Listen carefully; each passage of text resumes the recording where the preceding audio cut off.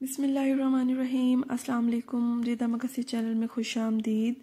उम्मीद करती हूँ कि आप सब बिल्कुल खैरियत से होंगे। अल्लाह ताला सबको शाद आबाद रखें। आमीन।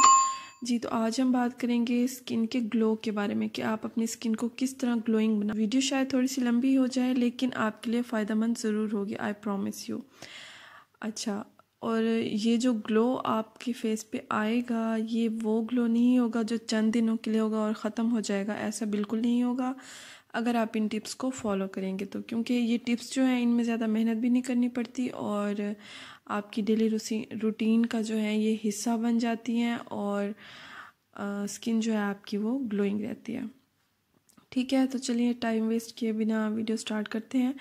Tip number one tip number one जो है वो ये है कि आपने नमाज़ ज़रूर पढ़नी है, ठीक है?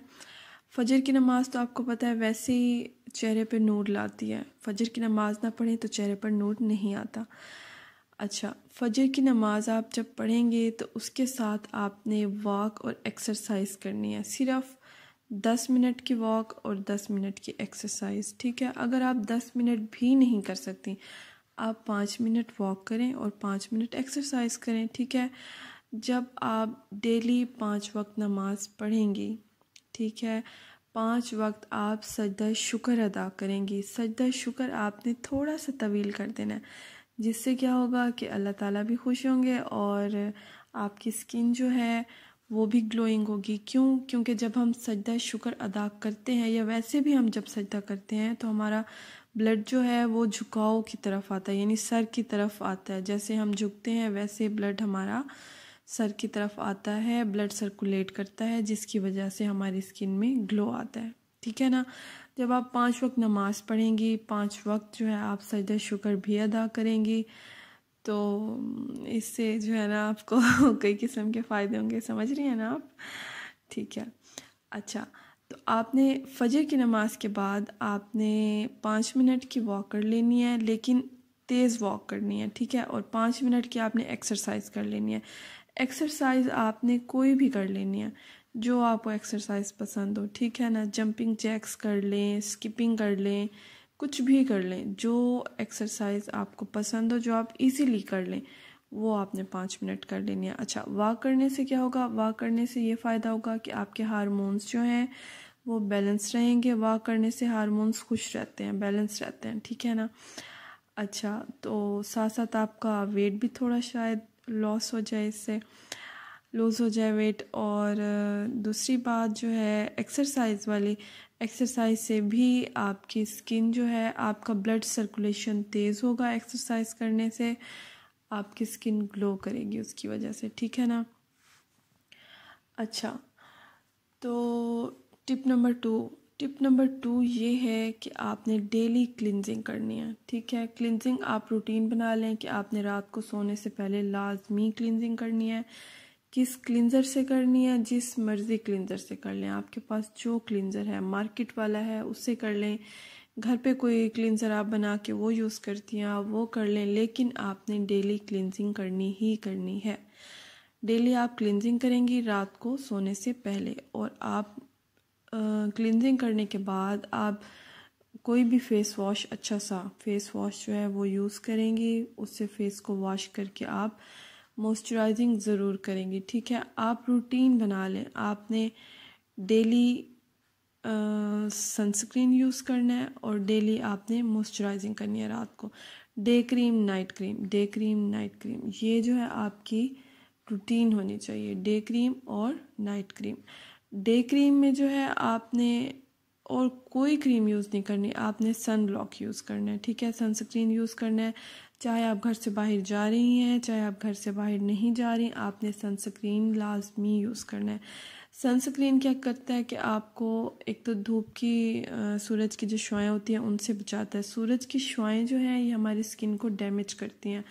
और किस हद तक डैमेज करती हैं, आप ये देखें, क्योंकि जब हम घर के अंदर होते हैं, धूप आती है सूरज निकलता है, हमें पता चलता है ना, बेशक हम घर के अंदर भी हैं, रोशनी अंदर तक आती है, हमें पता चलता है कि सूरज निकला हुआ है, ठीक है? तो इसी तरह हमारी स्किन पे भी सूरज की शुआओं का बहुत ज़्यादा इम्पेक्ट पड़ता है, बहुत बुरे असरात पड़ते हैं, ठीक है ना? इसलिए आपने सनस्क्रीन डेली यूज़ करना है, सनस्क्रीन जो है वो आपको एजिंग साइन से भी महफूज रखता है, ठीक है? अच्छा अब बात ये आती है कि आप सनस्क्रीन कौन सा यूज़ करें? अक्सर लोगों की यही शिकायत होती है कि हम सनस्क्रीन यूज़ करते हैं तो हमारे फेस पे एक लेयर क्रिएट हो जाती है जो कि बहुत बुरी लगती है। मार्केट में कई किस्म के सनस्क्रीन जो हैं वो अवेलेबल हैं। लेकिन जो आ, मैं जो यूज़ करती हूँ मैं यूज़ करती हूँ रिवाज का सिक्सटी प्लस ठीक है? ये वाइटनिंग भी है वेनिशिंग भी है बहुत अच्छा सनस्क्रीन है, ये मैं यही यूज़ करती हूँ। रिवाज का यूज़ करने से पहले मैं भी कोई सनस्क्रीन यूज़ नहीं करती थी। क्योंकि वो मुझे भी यही फील होता था कि एक अलग से लेयर क्रिएट कर देता है सनस्क्रीन और वो बुरा लगता है। तो जब से मैंने ये रिवाज का सिक्सटी प्लस मैं आपको पिक्चर टैग कर दूँगी। जब से मैंने ये यूज़ किया है ना तो स्किन भी ग्लो करती है बहुत ज़्यादा और फील भी नहीं होता कि आपने कुछ लगाया हुआ है, क्योंकि ये एब्जॉर्ब हो जाता है स्किन में, ठीक है? और ग्लो भी प्रोवाइड करता है और आपको सूरज की जो बुरी शुआएँ होती हैं यूवी रेज जो भी होती हैं, उनसे भी ये प्रोटेक्ट करता है, ठीक है ना? अच्छा अब नाइट में आप कौन सी क्रीम यूज़ करें? नाइट में आपने डेली क्लिनजिंग के बाद मॉइस्चराइज़र यूज़ करना है, चाहे आप कोई मिक्सचर क्रीम लगाती हैं, लेकिन वो मिक्सचर क्रीम नहीं जो ज़्यादा स्किन के लिए हार्मफुल होती है। जैसे लोग बहुत सी मिक्सचर क्रीम बना लेते हैं गोल्डन पर्ल और संदल और इस तरह की जो ऑलरेडी जो बनी हुई क्रीम्स होती हैं, उनके अंदर ही लोग इतनी ज़्यादा और बनी हुई क्रीम मिक्स कर देते हैं फेस फ्रेश और इस तरह की, ठीक है? आपने हार्मफुल बेशक आप मिक्सचर यूज़ करें, लेकिन लाइट आप हार्मफुल मिक्सचर यूज़ बिल्कुल नहीं करें अपनी स्किन पे ठीक है? उससे आपकी स्किन डैमेज ही होगी। अच्छा आ, आपने डेली रात को नाइट क्रीम यूज़ करनी ही करनी है क्योंकि रात को आपकी स्किन जो है वो रीजनरेट होती है रिपेयर होती है। इसलिए आपने नाइट क्रीम डेली यूज़ करनी है। सस्ती करें महँगी करें जो मर्ज़ी क्रीम यूज़ करें मॉइस्चराइजिंग क्रीम होनी चाहिए। आपने अपनी स्किन को मॉइस्चराइज करना ही करना है ठीक है ना? चलें जी, टिप नंबर फोर की तरफ़ चलते हैं। I think tip number four है। हाँ टिप नंबर फोर ये है कि आपने हफ़्ते में टू टू थ्री टाइम्स आपने स्क्रब ज़रूर करना है। टिप नंबर थ्री या फोर में भूल गई हूँ, ठीक है? जो भी है टिप नंबर चलिए टिप नंबर थ्री कर लेते हैं। टिप नंबर थ्री ये है कि आपने क्या करना है कि हफ़्ते में वीकली आपने two two three times scrub करना है। स्क्रब क्या करता है? स्क्रब आपकी स्किन से डेड लेयर रिमूव कर देता है। आपने हर दो दिन के बाद या हर तीन दिन के बाद आपने स्किन पे जो है ना अपने फेस को स्क्रब करना है।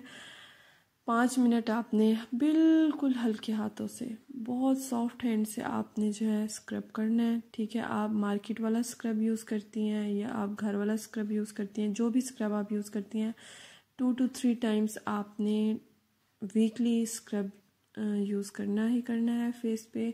स्क्रब हमारी डेड स्किन को रिमूव करता है और स्किन को रीजनरेट करता है न्यू सेल्स बनने के चांसेस होते हैं जब हम स्क्रब करते हैं, ठीक है? अच्छा तो अब बात यह है कि आप स्क्रब कौन सा यूज़ करें? अगर आप मार्केट वाला कोई यूज़ करती हैं, आपकी स्किन को सूट कर रहा है तो बेशक आप वो यूज़ करें, लेकिन अगर आप मार्केट वाला यूज़ नहीं करती तो आप लेमन शुगर स्क्रब करें। ठीक है? लेमन शुगर स्क्रब आपने किस तरह करना है कि आपने लेमन थोड़ी सी शुगर लेके उसके अंदर आपने लेमन स्क्वीज़ कर देना है और उसको बहुत ही जेंटली आपने पाँच मिनट अपने फेस पे मसाज करना है। बहुत ही हल्के हाथों से आपने मसाज करना है। उसके बाद ट्वेंटी मिनट्स के लिए आपने छोड़ देना है। जब शुगर आपकी स्किन में एब्जॉर्ब हो जाएगी, बीस मिनट के बाद आपने फेस वॉश कर लेना है। अच्छा तो अब बात यह है कि स्क्रबिंग के बाद हमारे पोर्स जो हैं वो ओपन हो जाते हैं। अगर आपको ब्लैक हेड्स वगैरह का इशू है, आप निकालना चाहें तो वो आप निकाल सकते हैं। उसके बाद आपने क्या करना है? आपने कोई भी मास्क जो आपकी स्किन को सूट करता हो, आपने वो लगा लेना है। आप चाहें तो मड मास्क लगा लें। कोई भी मड मास्क जो दस रुपए का साशे मिलता है आई थिंक अब शायद ट्वेंटी का हो गया हो। आप वो यूज़ कर लें, ठीक है रोज़ वाटर में या जिस चीज़ में भी आपको सूट करता है, आप वो लगा लें। अगर वो नहीं लगाती तो आप सॉफ्ट टच का मड मास्क मिलता है, जो लिक्विड होता है, बना हुआ होता है, आप वो लगा लें, वो भी बहुत अच्छा है।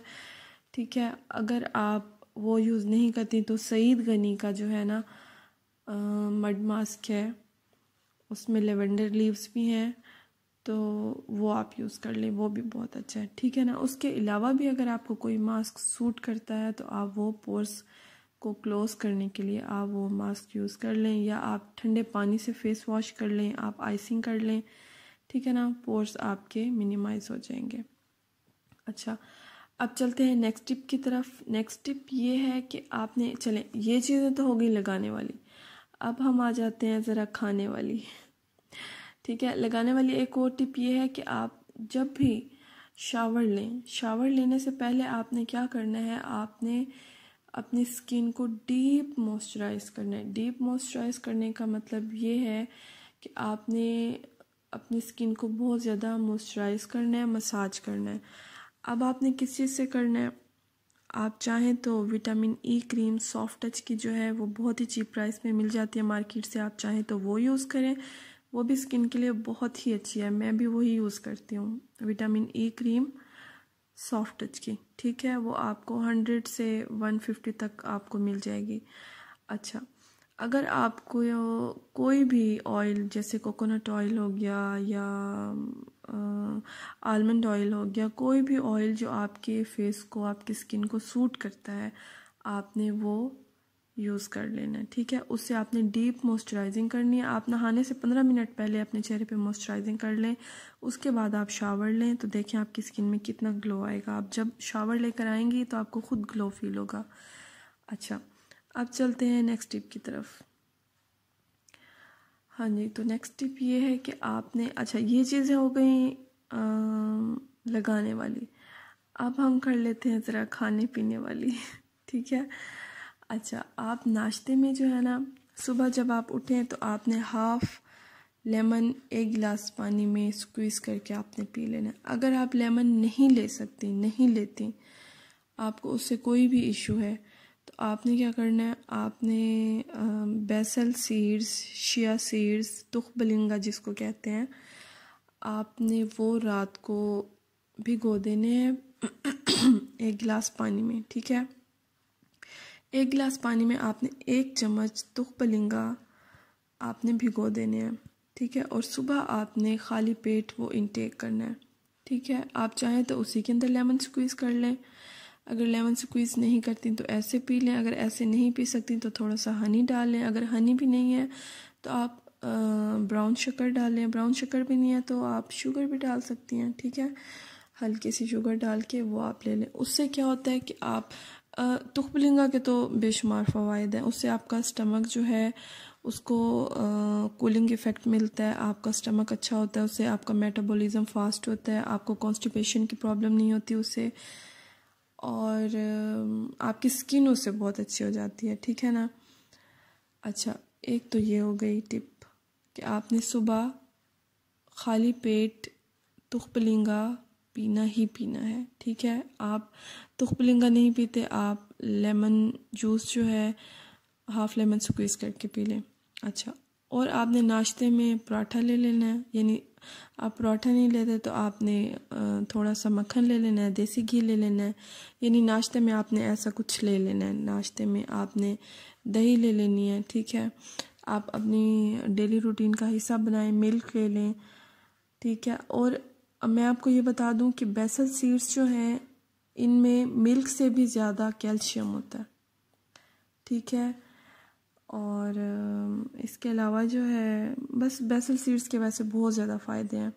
अच्छा और आपने डेली, डेढ़ से दो लीटर पानी आपने डेली पीना ठीक है? उससे क्या होगा, आपकी स्किन ग्लो करेगी, क्योंकि जितना ज़्यादा आप पानी पियेंगे, उतनी ज़्यादा आपकी स्किन अच्छी होगी। ये तो वैसे सबको ही पता है, बताने की ज़रूरत नहीं है। होता यह है कि हमें इन चीज़ों का पता होता है, लेकिन हम इग्नोर कर देते हैं, हम इस पर अमल नहीं करते। लेकिन जब हमें कोई बता देता है कि आप ये काम करें, इससे आपकी स्किन पे ये इफ़ेक्ट होगा तो फिर हम यूज़ करना शुरू कर देते हैं। ठीक है तो आप ये टिप्स फॉलो करें। इनसे ग्लो आएगा, आपकी स्किन बहुत अच्छी हो जाएगी, ठीक है? ये मेरा आपसे वादा है, आप करके देखें। आपको दस दिन के, दस दिन से पहले आपको, जो है ना रिज़ल्ट मिलना शुरू हो जाएँगे। आपकी स्किन बहुत अच्छी हो जाएगी ग्लो भी करेगी। और ये चीज़ें हैं भी ऐसी जो कि आपने डेली रूटीन का हिस्सा बनानी है तो आपको ज़्यादा मेहनत, मशक्क़त भी नहीं करनी पड़ेगी और आपकी स्किन भी बहुत अच्छी हो जाएगी और ग्लो करेगी। ठीक है ना? अगर आपको मेरी वीडियो अच्छी लगी हो तो मेरी वीडियो को लाइक और चैनल को सब्सक्राइब ज़रूर कर दें और बेल के आइकन को भी हिट कर दें, ताकि मैं जब भी वीडियो अपलोड करूँ, आपको नोटिफिकेशन मिल जाए। थैंक यू फॉर वॉचिंग अल्लाह हाफिज़।